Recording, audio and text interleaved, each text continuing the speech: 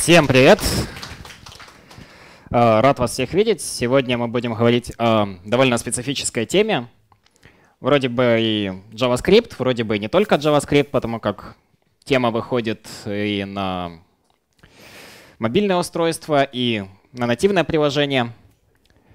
Я не буду вас долго томить, давайте начинать. Сегодня я вам отвечу на пять вопросов. Первый — зачем это все нужно? Второй — как это все дело использовать? Третий — какие готовые open source решения мы можем использовать для работы с WebRTC, э, с захватом медиаинформации на клиенте. И также я расскажу, как это все дело контролировать. У нас есть много различных факторов, которые нам надо по-разному хендлить. Ну и, конечно, куда без масштабирования, оптимизации. А теперь обо всем по порядку.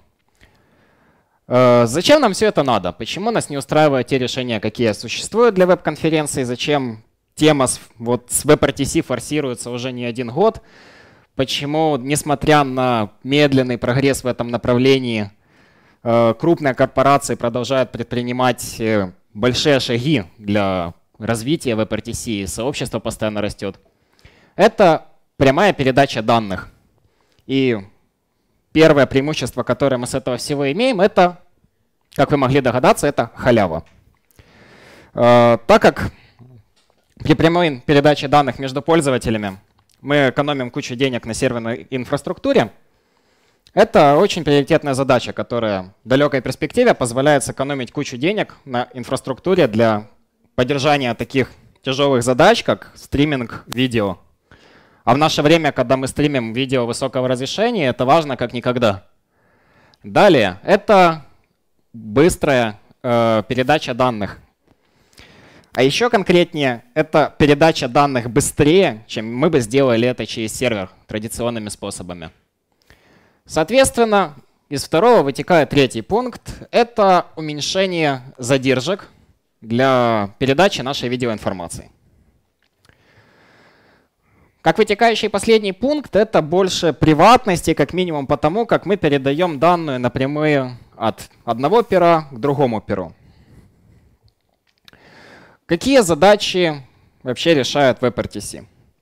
Это передача видео и аудио, соответственно, видео и аудиозвонки. Это видеоконференции различные. Соответственно, это вебинары и видеостриминг. Э, у кого-нибудь в зале есть идея, чем вообще вебинары отличаются от видеоконференций? Нет. И технически. Э, верно. Аудиоконференция, ну, видеоконференция, вообще любая конференция, она подразумевает то, что э, общаются все на одинаковом уровне. То есть я могу сказать что-то, товарищ мне на другом конце линии скажет что-то, еще кто-то нам добавит. То есть все имеют возможность общаться. Вебинар в основном подразумевает только то, что кто-то один у нас разговаривает, показывает что-то, а все остальные просто смотрят и слушают. Э, я к этому вернусь, это довольно-таки важный поинт в разрезе перформанса. Э, далее у нас есть чаты. WebRTC позволяет нам передавать текстовую информацию, довольно просто, и файл-шеринг. Э, собственно, герой нашей программы WebRTC расшифровывается это как Web Real-Time Communications. Э, технология, которая имеет довольно простую историю, как и большинство продуктов от Google, ее вначале разрабатывала компания не Google. Это Google Global AP Solutions. Они запилили софт для видеотрансферинга. Потом Google подождали немножко, пока это все дело разовьется за два года, дали людям денег, забрали и через год выкатили WebRTC. Инновации, все дела, Google на коне, все хорошо. Э, в общем, в 13, 14, 15 году Google э, обновлялся, обновлял Hangouts, да, переходил на WebRTC. Потому как он раньше работал на флеше, это было уныленько, ребята хотели что-то с этим сделать, это был, на первый взгляд, очевидный вариант решения этой проблемы. Ну и последнее, вот сейчас за окном 2016 год, а у нас до сих пор в WebRTC черновик. То есть прошло уже 6 лет с покупки технологии Google, и до сих пор э, в этой они до сих пор никак не утвердят этот стандарт. Вы, наверное, ожидаете, что передача данных между пользователями выглядит как-то так. Я заменил пользователей котиками, на случай, если кто-то не будет понимать, будет интересно посмотреть на котиков. Э, в общем, ожидания у нас вот такие вот. Есть два пользователя, между ними передается какая-то информация. Черта с два. На самом деле это выглядит как минимум так. У нас есть два котика пользователя. Э, для того, чтобы они друг друга нашли, они должны обменяться э, сигнальной информацией. Что это такое? Сигнальная информация — это, по сути, координаты. То есть я объясню просто. Я как пользователь иду на сервер, говорю, вот мои координаты, стучитесь ко мне сюда. Я создал. Другой пользователь стучится на этот же сервер и спрашивает, есть ли кто-то на этом сервере. Ему возвращают мои координаты, и мы связываемся. Все очень просто. Но я не просто так написал, что это не as reality, потому как черта с два. Uh, у нас есть Session Establishment Protocol, который описывает, как это все дело должно работать. Uh, первое — это Подключение к серверу он писает. Второе — это генерацию токена. Все это дело происходит с использованием токена. Далее это получение ключа для подключения. Это тот самый сигналинг, о котором я говорил. Э, RTC Stream Connection. Э, это API, которая сейчас есть во всех популярных браузерах, за исключением Safari. Мне что-то кажется, там его и не будет. Э, и э, broadcasting message about new peer. То есть мы шарим сообщение с сервера, что вот у нас подключился новый участник, давайте мы добавим его в разговор. SDP-шка. Это Session Description Protocol. Для него тоже есть стандарт. Он, по сути, это Текстовая информация, которая передается, в ней описывается информация сессии, временные параметры и медиапараметры. Там могут быть описаны кодеки, если мы используем какие-то отличные от стандартных. Э, вы можете посмотреть полностью пример здесь по ссылочке, я расшарю эту презентацию, и вы сможете покликать это все одновременно и ссылки, в том числе QR-код. Или можете отсканить, если хотите. Э, так, подберемся немного ближе к реальности. Э, так как у нас пользователи очень часто сидят за натом, они не могут друг друга напрямую найти. Э, если кто-то из вас так или иначе сталкивался с стун или турн серверами, он, вероятно, уже знает, в чем дело. Э, есть такая штука, тоже попытаюсь просто объяснить, это стун сервера. Они позволяют вот объяснить, что вот за этим натом сидит вот такой вот пользователь. Поэтому вначале пользователь идет на стун сервер, получает свои координаты. Дальше с этими координатами идет на сигнален сервер. И дальше, как я уже объяснял. Э, помимо стун и турн сервера у нас есть, ну вот помимо стун сервера у нас есть еще турн сервер. Чем они отличаются? Тем, что стун позволяет просто замапить адреса, а турн сервер он э, шарит сквозь себя, как прокси, э, всю нашу медиаинформацию, которая проходит. Соответственно, Stun сервер — это исключительно трансферинг UDP пакетов. А Torrent сервер — это обычно нужно два, один для UDP, другой для TCP. Э, в общем, это стандарты. Если кому-нибудь будет интересно, можете посмотреть, что они описывают. Э, вот, собственно, про Turn и Stun сервера.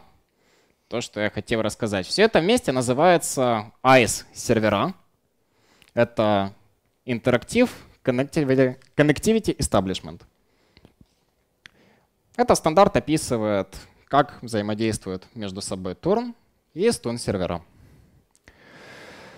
Э, наверняка вы сидите и думаете, зачем мне все это нужно. Поэтому я объясню.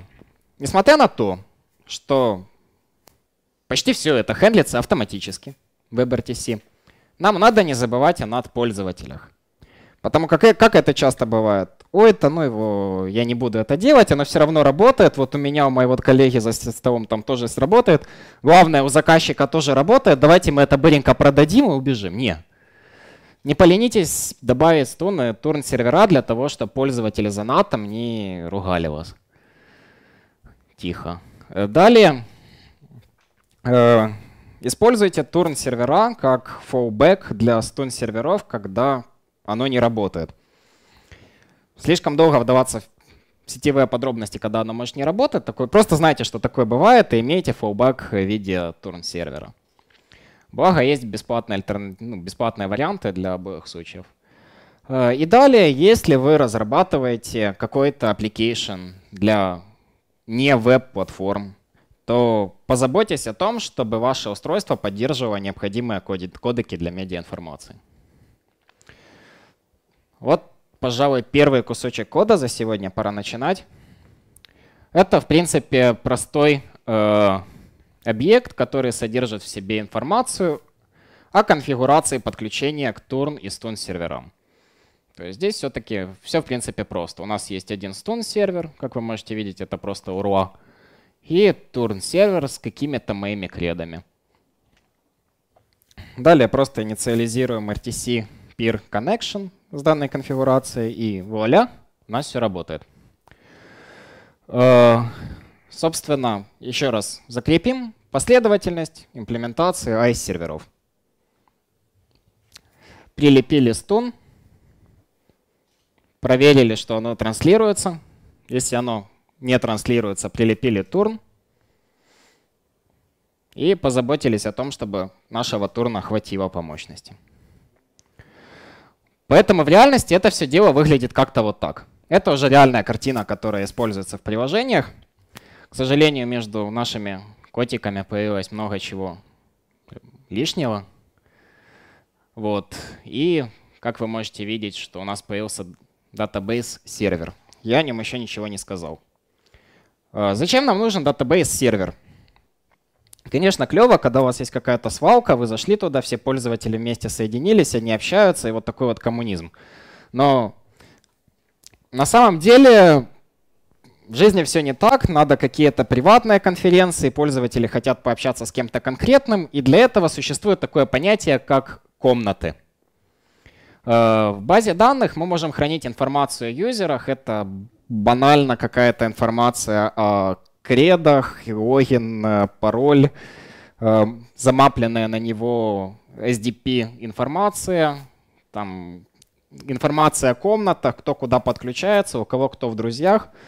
Какая-то база, это в принципе значения не имеет. Это может быть даже мусорное ведро под вашим столом, если к нему есть API, поэтому используйте что угодно, значения не имеет.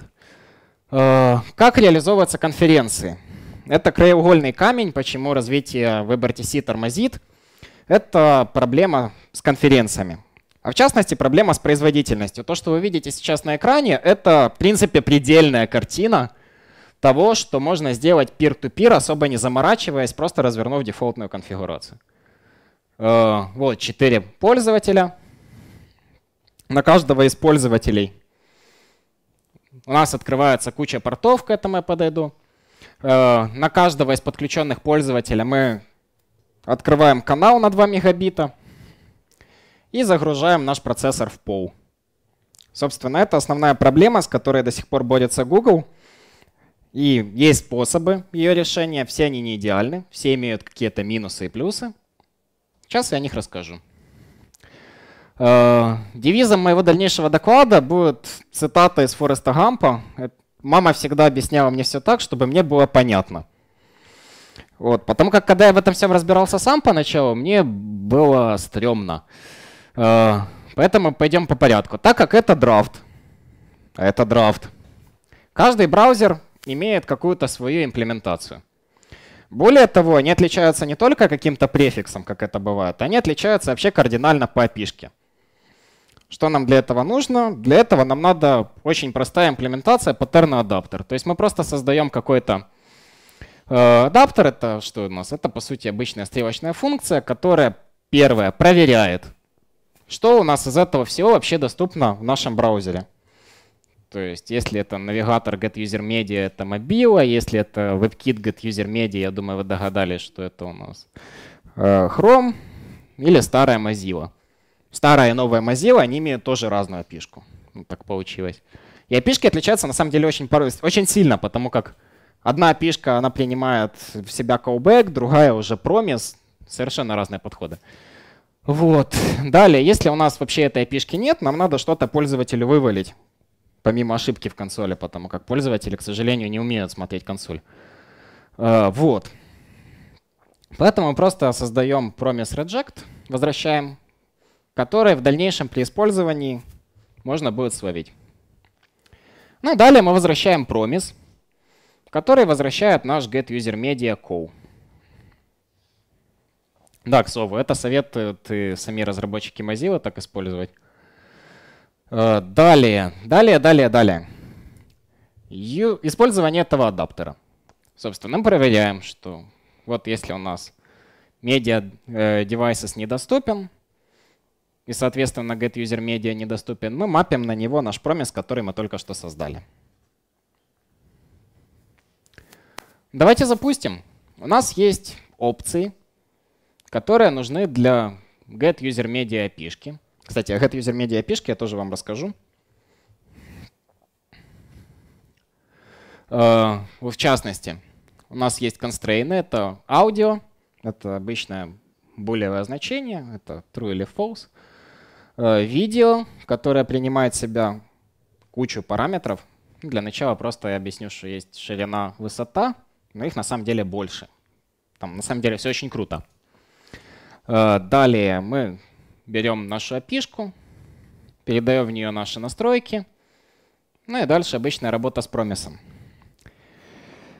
Мы подошли к очень простому вопросу, на который мне было тяжело дать ответ. Как нам это видео вообще отобразить на странице? Все очень-очень просто. У нас есть селектор из дома, с помощью которого мы вот выбираем ID-шник нашего видео, просто выбираем из нашего дом-документа наше видео. И в наш source создаем стрим, который возвращает нам наш промис. Вот вы можете видеть стрим. Это то видео из браузера, которое мы захватили с помощью нашего get media API. Uh, так, ну и далее там уже event, когда мы получили всю информацию, мы видео это проиграем. Ивентов много, я им целый слайд посвятил. Uh, вот. Ну и словим ошибку. Как вы можете видеть, наша пишка работает как-то вот так вот. Можете видеть себя, да. То есть на самом деле эта презентация не что иное, как обычный HTML. И вот сейчас в реальном времени мы захватываем наш экран. А, я специально выделил это, чтобы потом не было очень грустно и больно. Это все дело работает только с HTTPS и на локалхосте, поэтому... Да, поэтому будьте осторожны, чтобы заказчик потом не спросил, а что вот у вас оно локально работает, а у меня нет. Какие вообще штуки, интересные не очень, может делать Get User Media API? Оно может захватить ваше видео с вебки. Э, я вас успокою, никакой тайны, никакой конспирации здесь нет. Вам браузер вывалит огромное окно, разрешит захватывать видео на этом сайте. Поэтому, в принципе, все хорошо. Далее, захватить аудио. Ну, абсолютно то же самое. Захват экрана. Это головная боль. Это очень большая головная боль, потому как изначально можно было захватывать экран с помощью GetUserMedia API. Люди написали много приложений для захвата экрана с помощью GetUserMedia API. А потом стало нельзя захватывать экран с помощью GetUserMedia API. Э, сейчас это дело работает только если включить в браузере флаг или использовать экстеншн для этого. Экстеншн можно собрать для всех популярных браузеров очень просто. Ну, на самом деле можно скачать готовый. Вот они есть собраны, они не подписаны никак, просто меняете имя пакета и даете с вашим приложением. Это все open source, это нормально в общем. Э, далее у нас можно записать видео. Эта опция появилась буквально недавно процессе подготовки уже этой презентации я вот обнаружил, что у нас появилась наконец в опишке запись видео. Э, прикольно.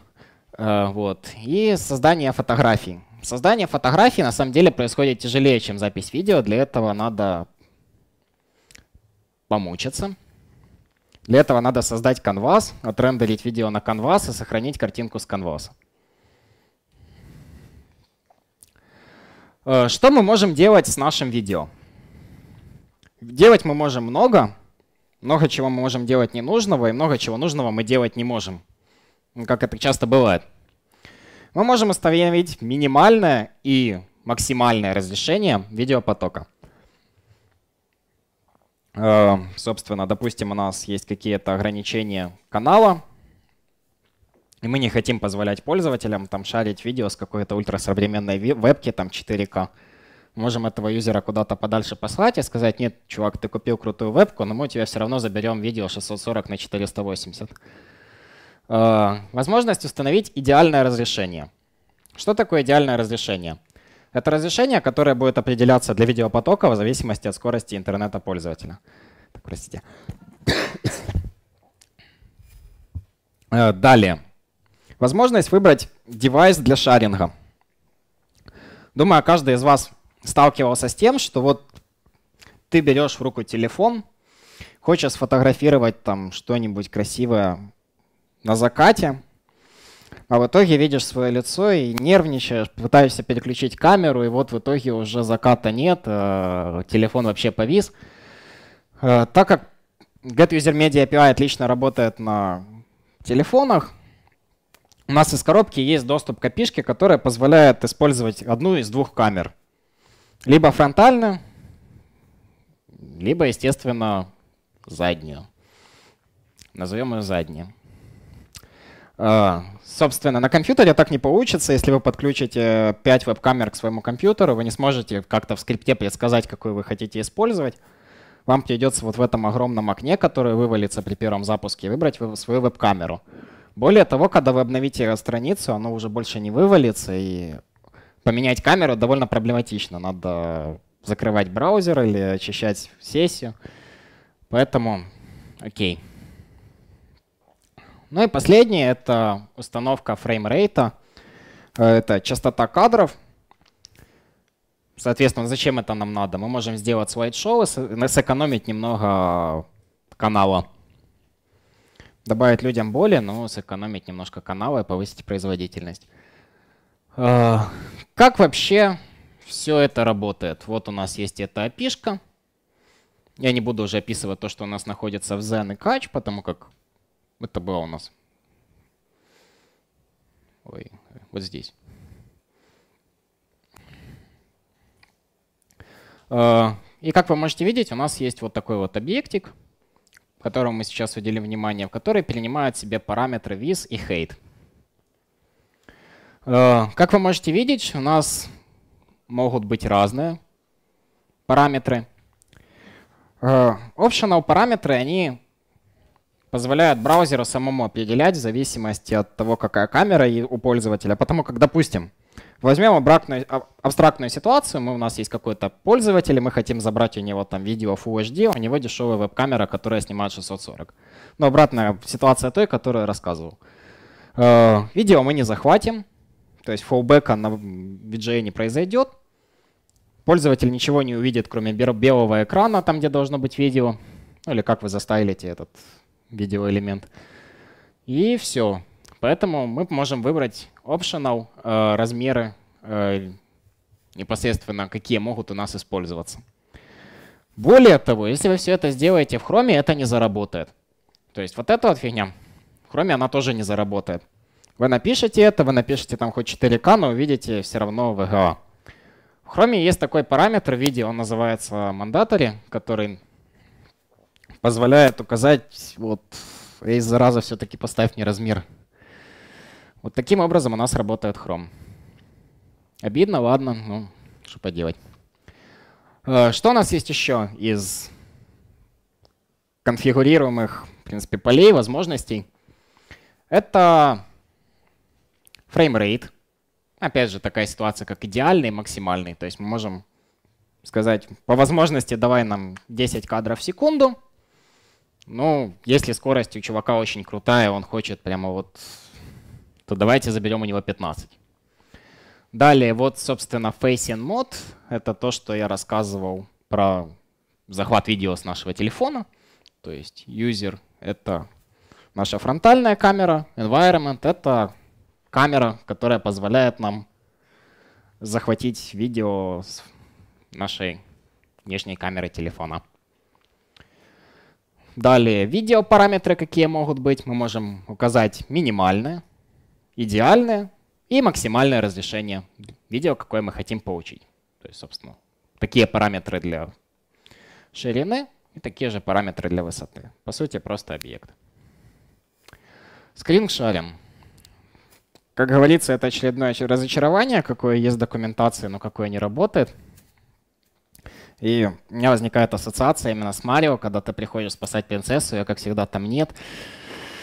Э, помимо этого, я хочу поговорить о битрейт контроле, которого у нас тоже нет. Это тоже разочарование, на самом деле, потому как, как по мне, вместо создания слайд-шоу с маленьким фреймрейтом было бы разумно просто рубануть битрейт, сделать э, плохое качество видео, но зато не презентацию. Ну и, собственно, обработка нашего потока. Но здесь есть но. Есть ряд фильтров, которые можно накладывать э, в разных браузерах разные фильтры. Это, работ... это экспериментальная фича, но сейчас можно уже сделать там grayscale какой-нибудь, отразить картинку, там забурить. Поиграться можно, но на продакшн, к сожалению, нельзя. Э, теперь давайте поговорим о более скучных, нудных вещах. Пробуем не сильно нудно и скучно это обсудить. У нас есть... Как нам вообще соединить между собой пользователей? Это мы все. Видео, видео. У нас есть RTC Peer Connection. Это API, которая у нас есть в браузере. Вы можете попробовать сделать консоль лог этой штуки, и вы разочаруетесь, потому как это нативная API. Вы увидите просто надпись Native Code, и все. Соответственно, полазить, посмотреть, как оно устроено, у вас не получится. Э, далее, у нас могут быть э, параметры, какие мы принимаем. Это ICE сервера, о которых мы говорили. ICE Transport Policy. На самом деле на практике еще не приходилось вот эту штуку применять. И вот эту, и вот эту, и вот эту, и вот эту, и вот эту. Э, но я о них все-таки расскажу. Bundle Policy — это enum, так написано в документации. Я вначале не поверил, какой enum в JavaScript. Вот. На самом деле, что такое enum? Enum — это, это развод чистой воды. По сути, это просто им, имитация enum, которая предусмотрена в WebRTC, когда у нас на какие-то строки мапится цифра, и с помощью getter это все дело достается потом. А, далее у нас есть параметр peer identity, который возвращает нам uh, instance RTC peer connection, peer identity, сертификаты, какие у нас могут быть. Кстати, все, что у нас здесь идет по этому потоку, оно шифруется. Используется DSTL, передается ключик, и все это дело шифруется. Далее. AS кандидат по size — это число. Uh, по идее, оно позволяет нам хендлить размер Э, для ICE-серверов, когда их несколько, но на практике тоже не приходилось. Обработка событий. Работа с WebRTC вообще тяжело представить без использования Event Manager. У нас есть события, какие мы можем использовать. Первое — это Basic Events. Это события, какие хочешь, не хочешь, хочешь, а хендлить придется. В частности, это On-Connection State Change, когда мы были не подключены, подключились, эмитится это событие, и мы можем что-то сделать. On Data Channel. Когда у нас появился какой-то поток уже непосредственно, мы можем на это событие повесить какое-то какое действие. Negation needed — это событие, которое происходит в случае каких-либо неполадок между нашими пирами. Далее у нас есть ивенты для ICE-кандидатов. Ну, тоже похоже, когда у нас появился ICE-кандидат, когда у нас какой-то ICE-кандидат выбросил ошибку, когда у нас изменился state, AIS кандидата или еще что-то. Например, ваш админ решил вот по ходу, пока вы говорите, поменять настройки сети. Э, Все это на самом деле хендлится, и с помощью AIS кандидатов вы можете это дело предусмотреть. Ну и последнее — это работа с сигнален э, сервером, который позволяет, вот, допустим, если у нас изменилось состояние нашего сигнален сервера, а что у нас может произойти с сигнален сервером? Он может отвалиться, и все. Э, вот. Тогда эмитится это событие. И далее он трек, когда мы начали общение с нашим сигнальным сервером. Немножко деталей. Э, у нас используется VP8 кодек, это WebM формат для видео. Он используется во всех браузерах. Есть поддержка H264. Она работает с флагом. Если, кстати, кто-то читал, вот вчера постили по этой теме статью на Хабре, мы же, вот, то там как раз завязался в комментариях вопрос, вот, что можно использовать H264. А, вот. Далее, кодеки для аудио. К сожалению, выбрать какой-то свой кодек для аудио довольно сложно, и для этого надо редактировать э, SDP-информацию, которую мы обмениваем со сигнальным сервером. Это можно сделать только до первой инициализации с пользователем. Далее у нас есть библиотечка, написанная на плюсах, простите, которая позволяет э, разрабатывать какие-то десктопные приложения. На самом деле есть библиотечки и для мобильных платформ. Но, к сожалению, с мобильными библиотечками дела вообще не имел. DLTS э, для безопасности используется. Ну и, соответственно, возможность использования Turn и Stone серверов. Производительность. У нас был такой хороший разговор, теперь пора поговорить о плохих грустных вещах. Это производительность. Э, для того, чтобы шарить видео в 720 пикселей на, 300 кадров, на 30 кадров в секунду, обычно надо поток размером где-то 2 мегабита. Э, на каждого пользователя. То есть, если вы общаетесь там с пятью пользователями, то, соответственно, вам надо канал э, со свободными 10 мегабитами. Но, к сожалению, скорость — это не единственная проблема, какая у нас есть. У нас открывается куча портов. Сейчас мы к этому придем. Для того, чтобы упростить оверхед в настройке, включении, отключении портов, есть замечательная библиотечка, которая называется PeerJS. Э, вот так выглядит взаимодействие э, WebRTC с сигнальным сервером на библиотечке PeerJS. Собственно, инициализация, э, создание подключения, добавление одного слушателя — и, соответственно, слушатель, э, добавляем еще одного слушателя на connection, внутри которого мы добавляем еще один слушатель. О. Вот. И по сути, это все, что вам надо для того, чтобы начать общение между пользователями на клиенте. Для того, чтобы позвонить, нам надо использовать что-то типа такого — данный пример, вот я специально взял э, пример, где используется callback. Такую версию API вы можете сейчас встретить в Chrome. Поэтому, знаете, вот такой вот вариант записи тоже может быть, только он не сработает как раз в Mozilla. Э, вот, хотя вот здесь и импортируются вот такие вот штуки. Это пример с официального сайта, вот, не работает.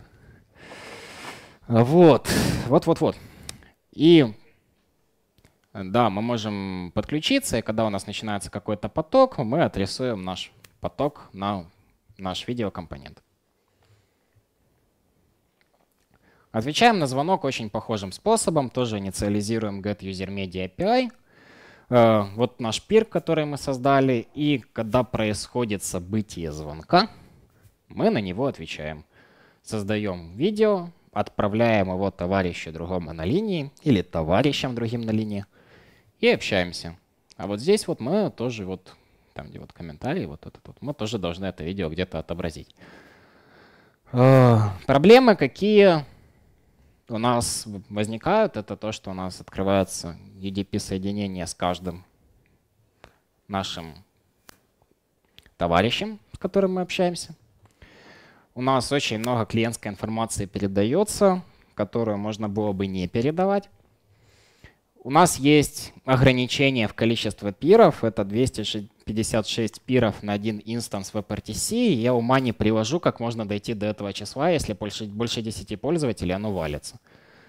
Э, и ноут очень жестко греется. На самом деле, вот по личному опыту, просто widely начинаешь захватывать видео, там 12-15% грузится Air 15 года, PROS i5.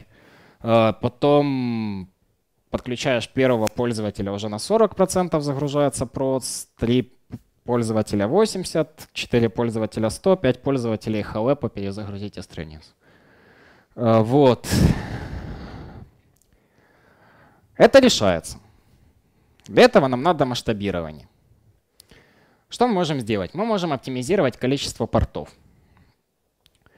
Э, для того, чтобы оптимизировать порты, нам надо определиться с тем, как мы это все дело будем шарить. Все ли у нас говорят, то, о чем я вначале говорил. Кому вообще, кого вообще можно лишить прав? Нет, там картинка есть, мы сейчас к этому вернемся. Далее, умная локация. Что это вообще такое? На самом деле это технология, которая позволяет нам э, шарить видео между пользователями чем-то похожее, на, сделать что-то похожее на древесную топологию. Вообще у нас э, в теории есть возможность использовать другие топологии связи в WebRTC, например, сделать звезду или дерево. И тогда, по идее, это будет работать быстрее. Но на практике оно работает через раз и делается довольно тяжело. И проблема как раз в организации серверной сети, серверного всего софта для того, чтобы все это дело скоординировать. Оптимизация портов. То, о чем я говорил. В чем у нас проблема? Вот у нас есть три пользователя, которые всего общаются. И каждый из этих пользователей держит 4 открытых активных RTP порта. То есть один передача аудио, другой переда... получение аудио. Да, и вот этот вот кейс — это исключительно аудио, без видео. То есть если мы передаем видео, будет по 8 портов на каждого. Э, соответственно, когда мы увеличим количество пользователей, у нас получается на 5 пользователей 20 портов на каждого. Когда у нас 10 пользователей, у нас, соответственно, 40 портов. И это, ребята, я вам скажу, жесть. Потому, потому, потому, для организации каких-то конференций можно использовать что-то типа такого. Зачем нам для пользователя, который не будет ничего говорить, который не будет ничего вещать, тем более со своей камерой держать открытыми порты? Давайте их закроем. API-шка WebRTC нам отлично позволяет такие вещи реализовывать. Потому мы просто закроем ненужные порты. У нас будет нагруженный спикер, на которого все будут ходить. Притом спикеры не будут ходить между собой, им это не нужно. Зачем спикерам знать друг о друге? А, далее. Все эти спикеры соединяются между, ну, соединяются с нашим, спикеры, простите, слушатели соединяются с нашим спикером. В итоге задачу мы решили, ноутбук горячий только у спикера, а все остальные довольны. Ну, по сути, как раз э, есть что-то общее, и одна из один из способов э, масштабирования WebRTC — это использование серверов как нод, ну, в смысле не Node.js, а именно как нод для ретрансляции сигнала между собой. Допустим, создается эдакое дерево, есть один вещающий, он вещает на 5 серверов, каждый из этих своих серверов, в свою очередь, вещает еще на 5 серверов, и каждый из этих 5 серверов вещает на других пользователей. Более того, можно использовать какой-нибудь э, scalable solution от Amazon. Э, мы для проекта вели очень долго переговоры по этой теме.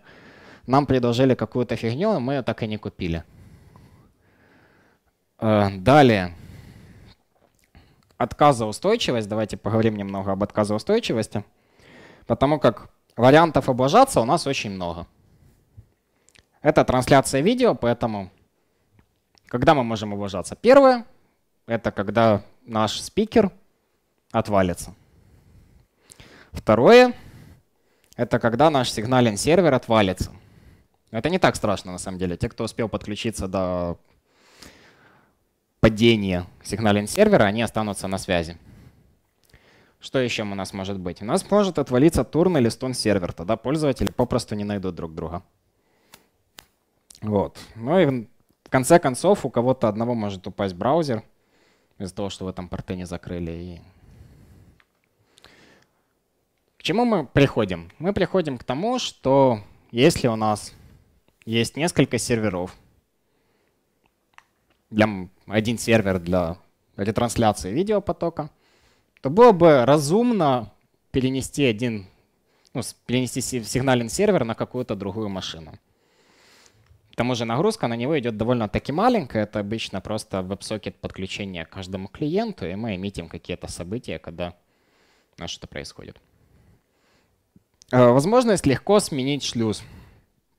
Если вы вещаете какое-то видео про птичек, котиков, и его смотрят там одновременно 50 тысяч человек, то будет очень плохо, если при падении какой-то из нод серверов у вас упадет, там, отпадет 25 тысяч клиентов. Поэтому предусмотрите в роутинге вашего сигналин сервера возможность переключиться на другой гейт в случае чего. Ну и последнее — это предусмотрите возможность в случае глобального апокалипсиса в серверном мире переключиться пользователей друг на друга.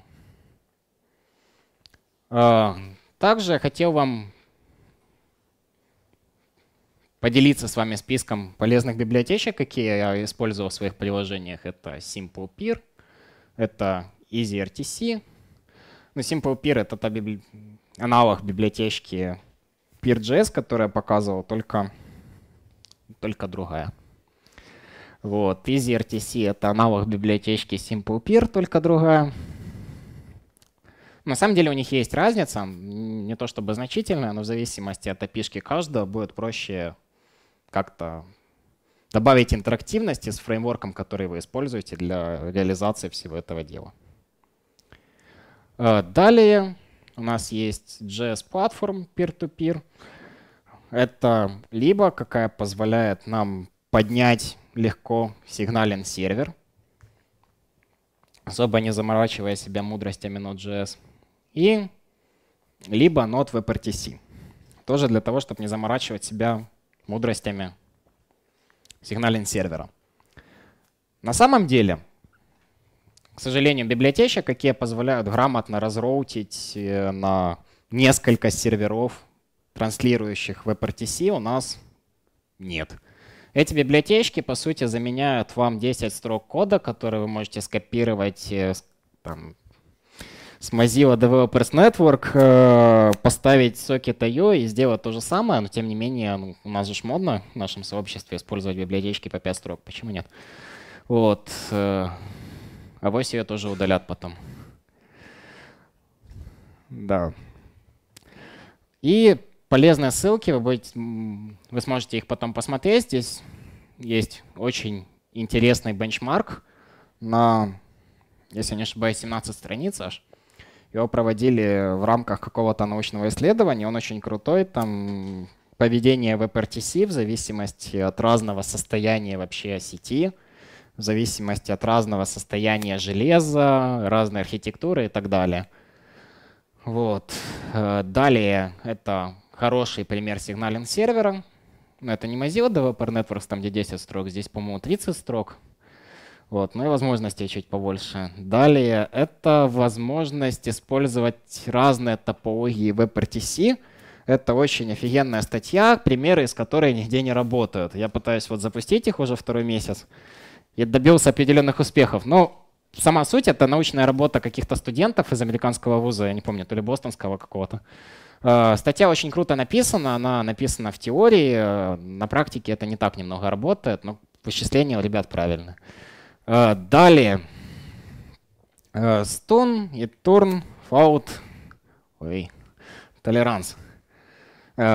Статейка, где описано, как вы можете реагировать на какие-либо внештатные ситуации с вашим WebRTC приложением. Ну и последнее — это примеры использования Stone и Turn серверов. Собственно, спасибо за то, что вы послушали, пришли.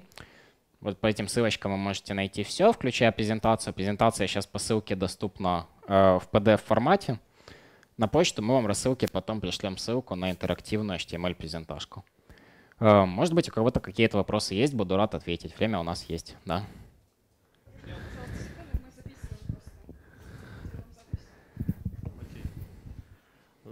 Ты говорил, там битрейт выставить нельзя. Да. А можно как-то в рантайме, когда уже запущена презентация, урезать разрешение видео, допустим? А, технически может, но на практике не срабатывает иногда. Вот. В частности, Mozilla в этом деле как-то покладист, покладистее, а Chrome он очень упертый. Он может сбросить на VGA и потом не реагировать никак. А, и насчет вебинаров, вот можно ли как-то распределить, чтобы пользователи в качестве серверов выступали? То есть не все пользователи коннектятся к главному, а некоторые к другим пользователям. А, пробовал, делал, оно даже работает, оно даже получается. Но в чем проблема?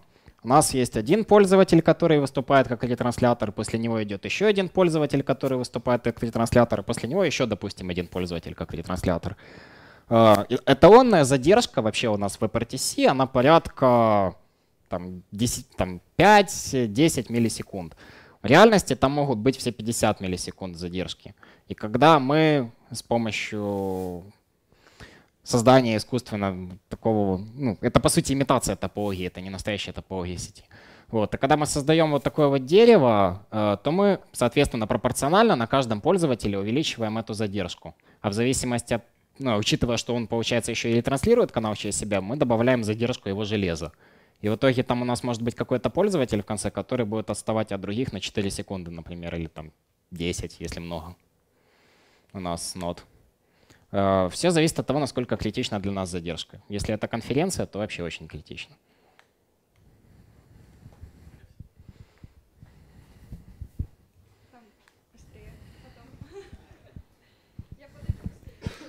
Здравствуйте. Э, вы очень так много говорили, вот у нас есть. А вы писали какие-то реальные приложения на продакшн? А, да. Э, тогда я попрошу, расскажите, пожалуйста, э, о каком-нибудь более-менее успешном проекте, как вам удалось решить, насколько вам удалось решить проблемы с производительностью, насколько удалось решить проблемы с кросс-браузерностью. Окей. Okay. Э, задачи с кросс-браузерностью у нас не было. Это была контора, которая занимается вебинарами. Это очередная IT-школа была на самом деле. Вот, и у них задача была как-то вещать, не используя платное решение для, использования, для проведения своих вебинаров. Поэтому мы остановились на том, что мы разрабатывали конкретно под Mozilla, потому как они наиболее активно сейчас внедряют э, какие-то новые фичи Э, самой пишки. Э, вот. И исходя из этого мы уже отталкивались, сделали продукт, на котором с помощью распределения по пирам у нас было два сервера, которые выступали ретрансляторами. Мы вещали на 10 э, пользователей. У нас получалось их подключать. Также у нас был видеошаринг с помощью плагина, ну, экстеншена для браузера, который надо было один раз установить. И у нас был чат, соответственно, который ну, кстати, вот чат мы делали не через WebRTC, потому как он поднимает еще один порт. Мы использовали для этого просто ресурсы нашего сигналинг-сервера и оптимизировали тем самым нагрузку на, на самих пользователей. То есть мы просто веб-сокетами гоняли между ними сообщения. Файлы шарили мы тоже непосредственно через сервер, потому как это было быстрее и проще для пользователей. Э, при попытке масштабирования у нас вылезала куча багов, и для больших конференций ребята продолжают использовать ClickMe. Здравствуйте. Спасибо за доклад. У меня такой вопрос, судя по вашему докладу, как по вашему опыту, э, использовать WebRC это точно так же, как просто как научиться ездить на велосипеде, да? Как в том анекдоте, не, когда не, не. велосипед горит, ты горишь и все в аду. А, ну, мне складывается впечатление, что эту технологию использовать, ну вот как нельзя даже для pet проектов. Это так или может быть, если бы вы в том вашем продакшн коде вернулись на самое начало, вы бы все еще использовали эту технологию? А, учитывая, сколько времени я потратил на Investigate, неоплачиваемый Investigate, я думаю, что я бы заново бы это все дело не учил. А, как вы удачно сказали, что у нас велосипед в огне, все в аду, но ехать на нем можно, ехать на нем реально можно. Но так как это драфт, у нас могут быть какие-то нежданчики, например, завтра перестанет работать опишка для видео, или там наш промис превратится в тыкву, или еще что-нибудь случится, и все приложение упадет. То есть есть не нулевая вероятность этого. Далее бывают глюки. Э, если откроете э, релиз Notes э, WebRTC у них официально на сайте, вы увидите, что там каждую версию фиксят под сотню багов. Не, ну под сотню загну, но полтинник багов раз в месяц они фиксят. И это на самом деле немало. Потому это бета, ну как бета, это драфт. Давайте называть своими словами. Это драфт. Использовать можно, но оборачиваясь на то, что заказчик должен понимать, что вот сегодня оно работает, а завтра оно может превратиться в тыкву.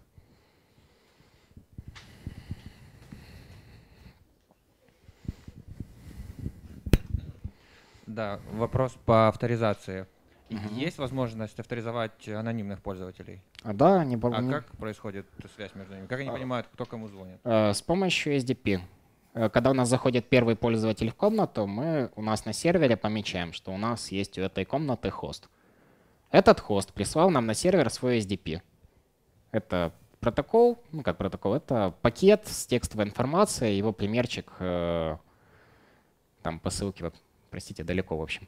Э, там есть примерчик этого протокола, он содержит в себе информацию сетевую, как до этого пользователя достучаться, содержит информацию с ключами для шифрования, э, содержит в себе информацию о кодеках, какие он может использовать. В общем, и когда у нас этот ключ, уже, ну, вот эта информация DSTO пользователя, ой, DSTO, SDP на, на сервере уже есть, мы просто ее отсылаем другим пользователям, какие приходят к нам на сервер. Ну, типа вот пришел еще какой-то, он видит, что у нас уже есть хост. Ему сервер сказал, что есть хост. И вернул данные хоста и чувак уже стучит на хост.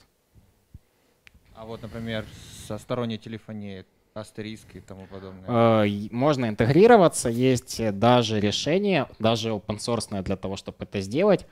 Э, суть, как это вообще работает? У нас есть какой-то сервер, который умеет э, звонить и принимать звонки с какого-нибудь СИПа. Этот СИП трансферится в WebRTC, и через WebRTC он уже шарится куда-либо дальше. Так же самое можно анонимным пользователям звонить на тот же самый астериск, и все будет хорошо. Не, не звонить. Ну, можно расшарить, допустим. Нам звонит какой-то клиент абстрактный с э, SIP, и мы можем этот SIP расшарить уже дальше по WebRTC. И в итоге э, чувак сможет участвовать с нами в конференции, где куча пользователей WebRTC, он у нас на каком-то SIP. То есть вот ну, просто ситуация такая. Есть э, сервис для операторов, которые отвечают на звонки. Uh-huh. И на любой странице браузера человек может позвонить оператору, и, соответственно, в астериске ему ставится в очередь на звонок, и он присоединяется с оператором. Ну, вот такого, наверное, нет, во всяком случае, свободного. Можно поискать какие-то платные решения. Э, ну, можно написать, по сути.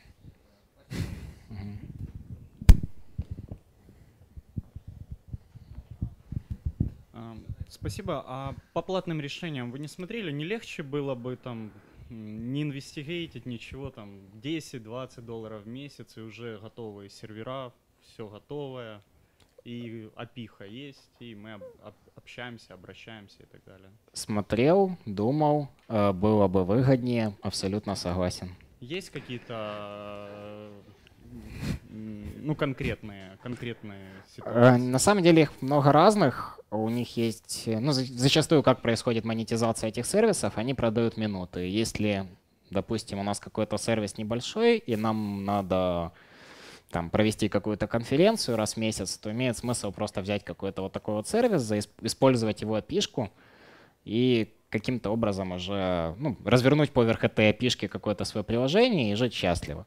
Если же у нас очень много звонков, тогда дешевле будет инвестигейтить, педалить и мучаться.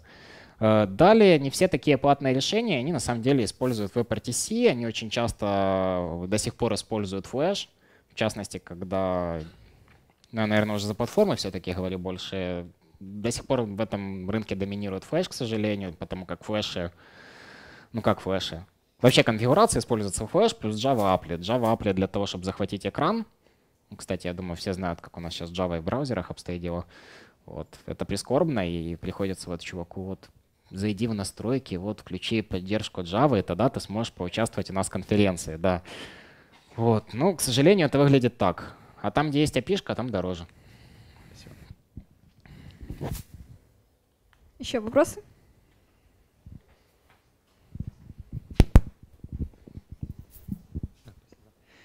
Спасибо за доклад. Э, честно говоря, ну, не так давно э, тоже озадачился таким вот вопросом об использовании WebRTC. Э, понял, что там ну, не все так гладко, с одной стороны, ну, за счет поддержки именно браузерами, uh-huh. все такое. А, но на самом деле, ну, технология это просто попытка еще раз переосмыслить вот UDP а, в качестве, ну, ну пир, peer-to-peer соединение. И, ну, судя по презентации, было много моментов, когда казалось, господи, ну зачем, уже похороните это чудовище, не трогайте его больше. А, но слышал и об удачных экспериментах. Вот, например, если не изменяет память, WhatsApp свои звонки а, реализовывал через WebRTC. И почему не смотреть вот реально в эту сторону? Peer-to-peer, ну, между только двумя пользователями, не надо устраивать конференции большие. Тот же, тот же звонок, голосовой видеозвонок между всего лишь двумя пользователями вполне осуществимая поддерживаемая идея, не кажется? А, да. А, когда мы звоним пользователь пользователю, WebRTC отлично годится, его легко использовать. Более того, в качестве крутых решений, которые работают, ну, поднимите руки, кто из вас использует Hangouts. Ну вот, можно судить о том, что WebRTC все-таки проник э, в, каждого второго, судя по всему. И все-таки право на жизнь он имеет. Другой вопрос, что надо прикладывать титанические усилия, чтобы добиться какой-то стабильности и это все дело масштабировать. Э, для звонков peer-to-peer, если в WhatsApp peer-to-peer, я на самом деле не удивлюсь, потому как, как я уже сказал, между двумя пользователями все работает очень круто. Можно даже усики прилепить.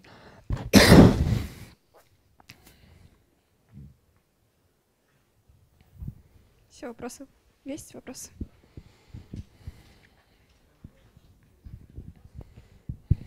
Спасибо. В общем, а, про поддержку уже много, два раза спросили, но все же.